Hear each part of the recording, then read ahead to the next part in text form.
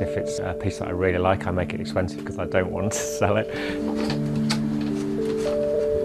It's great when the mates have got kids because the kids won't let them drive past a hubcap, they have to pick it up. It just seems pointless to me to be chucking this stuff out when, when it's all got a value still.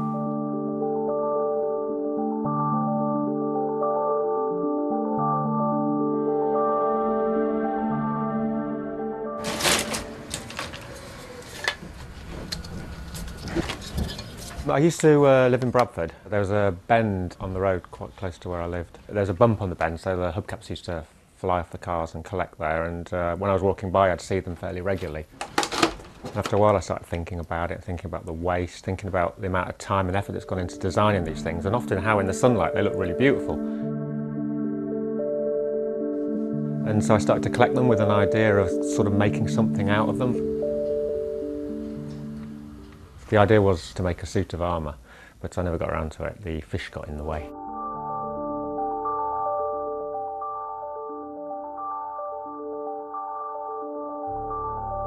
I see a lot of detail um, within the hubcaps that reminds me of other things. You know, there's like the shapes around the eyes, fins, the tails, all sorts of things. It's all hand tools, it's uh, hacksaw, um, craft knife, um, you know, I usually score and bend and cut, drill holes.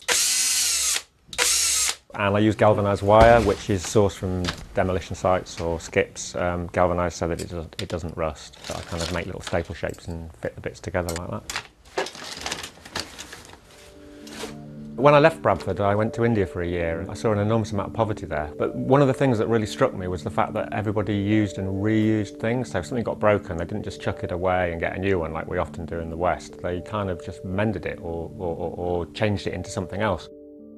I wanted to kind of include that idea, that concept in my art somehow. Realistically, I wouldn't really want to get rid of any of them because I put a lot of myself into these things, you know, but obviously I have to make a living. I can, I can work doing these for the rest of my life and I won't even like make a dent in the kind of amount of stuff there is out there.